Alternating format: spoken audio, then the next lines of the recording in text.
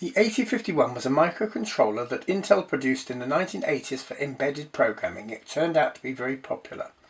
The 8031 is essentially a ROMless version of the 8051 and strictly speaking if you disable the internal memory on an 8051 by grounding pin 31, that's the EA pin, it too becomes an 8031. Due to their popularity both the 8051 and 31 were produced by a number of different manufacturers. Whilst early examples were made using NMOS technology, later versions such as the two I have here were produced using the CMOS process which gave much lower power consumption, hence were better suited for portable battery operation. I've had this pair of 80C31s sitting around for many years so decided at long last to give at least one of them a go. Bear in mind that these are my first experiments with the 8031, so I'll be reporting on my own personal findings, which could well be different to anyone who already has a thorough knowledge and perhaps liking of the device. Let's quickly run through the features of it then. There are actually four separate 8-bit parallel ports, two timers, a serial port facility, four sets of registers and some onboard RAM. All very useful, but we have to remember that with the 8031, Three out of the four 8-bit ports are utilised for the external memory, therefore it's more realistic to say it just has one 8-bit parallel port when you're using an external ROM. For smaller applications, the onboard RAM saves additional device if you, if you might not need one, plus the four sets of internal registers. While this all sounds very useful and impressive, I have to say I personally found the memory map of the 8031 rather confusing at first. Yes, it has all these registers and memory, but if you look at the memory map it takes a while to understand exactly what is where. Bear in mind that some memory locations overlap as well, so can only be accessed by certain instructions, etc. Obviously, when one understands it a bit better, then that's not a problem, but certainly it start, it's a bit confusing at first, I think.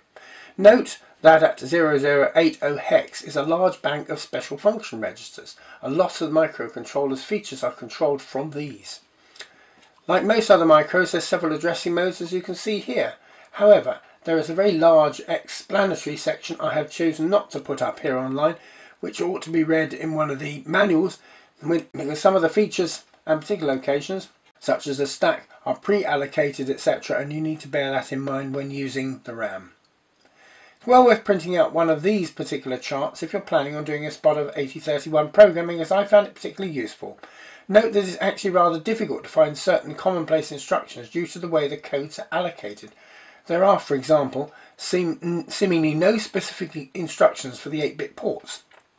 Hence one can use the 3-byte move a direct hash data command where the first byte is the 75 hex, second being 90 hex which accesses port 1 special function register and lastly the third byte being the data you actually want to send to the port. Of course there are other instructions that do a similar job such as the 2 byte MOV direct a instruction where the first byte is an F5 and the second could be a 90 once again addressing the special function register. When I'm new to a micro, I like to sit down and spend a while working out some common instructions to start myself off with this because this is uh, as you see here. Obviously if you're using an assembler or higher language program then um, this is not really necessary though it can lead to a better understanding of the code when you're starting out. I personally find it helps one understand the programming ways of a specific device when all is currently unknown as it was with me in the 8031. So let's have a quick look at the working schematic straight away. One can see the 8051 was better in some respects with its internal ROM as it makes the circuit much more compact, also freeing up the ports for use, which of course are used by the external memory. Using the 8051 it's therefore possible to make some very powerful circuits with a very low chip count. Whilst you can see both the ROM and the RAM in this arrangement, it's always possible there might be sufficient onboard RAM to make the external device unnecessary. For my first 8031 test board I naturally included one in case I needed it in a latter configuration. The 138 decoder is a useful little IC that allows to give us up to six external devices in addition to the external ROM and RAM. Note the micro has an onboard oscillator which will use up to a 20 meg crystal. Useful. Likewise, the internal reset circuitry has a Schmitt trigger already in there, therefore making it unnecessary for an external reset IC. Anybody fancy trying trying out an 8031? Here's a screen grabbable netlist which you can use to build the circuit I'm about to show you. Here we have a ROM temporarily uh, blown with the code and we've zoomed in on it so we can show you pins 1 to 8 are in fact um, the I.O. port we're talking about. So we turn on the, the power LED comes on and we have a logic probe. We're just going to use a logic probe for this. And hopefully we should actually see that,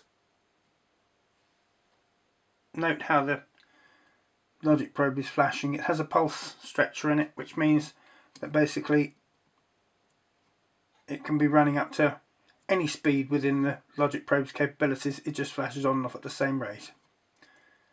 See, all of them are toggling. And that one is the last one. Nothing. So that is essentially showing us, press the reset button, everything goes high on reset with, with the port until it resets. Yep, and we're off again. There we go, very simple. That's actually showing us that this is working correctly. For this second ROM, test ROM call it, um, we're going to use the DL1414 display which is going to test that the RAM works. Uh, one thing I always think about is how can you test the RAM works? We did it with the 8080 if anybody watched the 8081 and it's quite straightforward. We simply send something via the RAM to the display and something straight through to the display and if only one appears uh, the one that doesn't go through the RAM then you know that there's it's it's not it's obviously not being uh, read and written to correctly so if we turn this on you'll see what I mean so if I this in the way it actually helps you see what's on there on the display we have we have a a minus and an A the minus is being sent direct from the CPU and the program, whereas the A is written into the RAM and then read back out again and sent to the display. So if the RAM is not being read, we'll simply have the minus and no A. Very simple, I know. So let's take the RAM out and prove the points. We take this thing off for a start. Let's turn it off. Let's find some suitable thing to remove the RAM with my fingers. RAM is gone. So if we now, that means we still have the program, everything else is, nothing has changed. Let's put that back there so we can actually see it. And let's see what happens when we turn this on. We just have a minus. And that is the thing that's being sent direct. The the A was being sent via the RAM.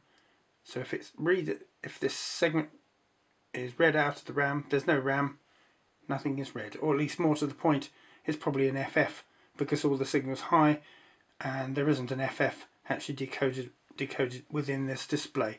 So let's turn it off once again. Put the RAM back in again.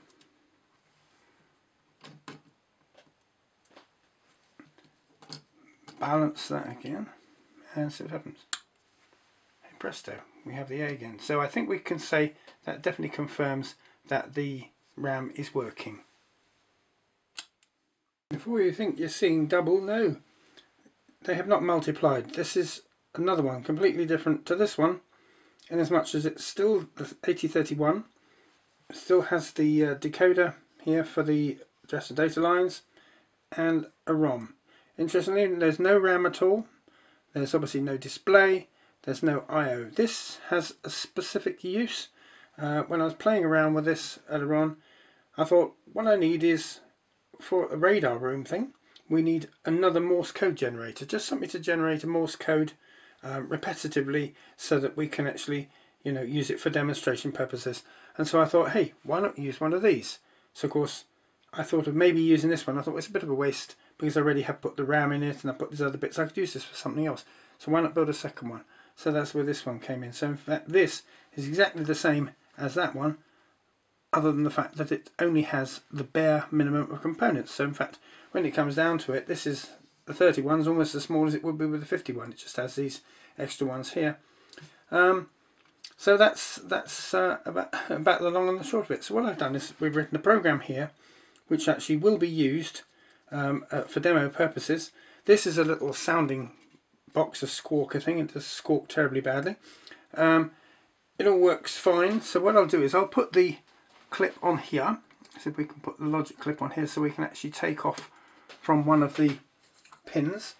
That's there. I'm going to take pin 1 because remember that's P P1 port 1 and we've connected that up to that. So technically if I turn this on it should simply start doing its Morse code and it'll loop round. So let's see what happens.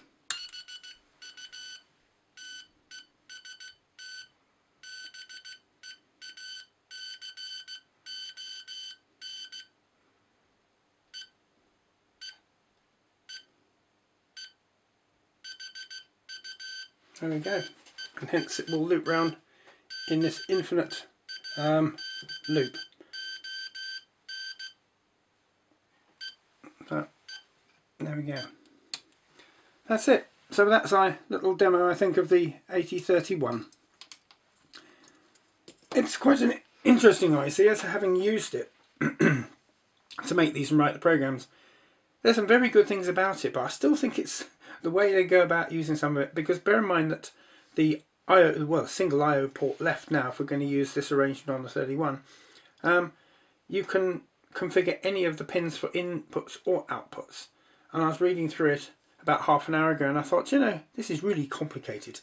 And they they have the very, it's where they use FETs for pull-ups and stuff, and they say, you know, you can use, you know, one pin as an input, one pin as an output, and you can reconfigure them, and you can use them within interrupts. It's, it's complicated. If you don't mind spending the time doing it, it's an extremely versatile little device. I'm not quite so sure that I'll ever go into the, the depths of working out separate pins for inputs and outputs, but hey, one never knows. Anyway, there we go. Yeah, there's a few details I put up at the end, um, so you can actually take some screenshots of them if you're interested. This circuit at least works, and maybe you can do a, a better job yourself. Any questions, please ask them in the comments below. Thanks for watching.